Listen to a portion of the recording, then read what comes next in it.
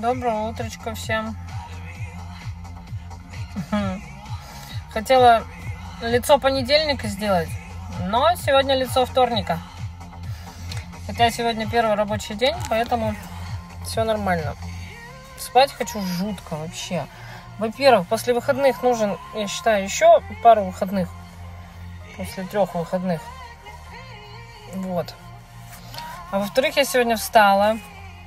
Что за оттенок такой дурацкий здесь? Во-вторых, я сегодня встала, ни свет не заря, потому что мне нужно было сдать кровь из вены, анализы калмача. И сейчас я жду время, вот 10 часов у меня буду глотать трубку КГДС, КГДС, как он там.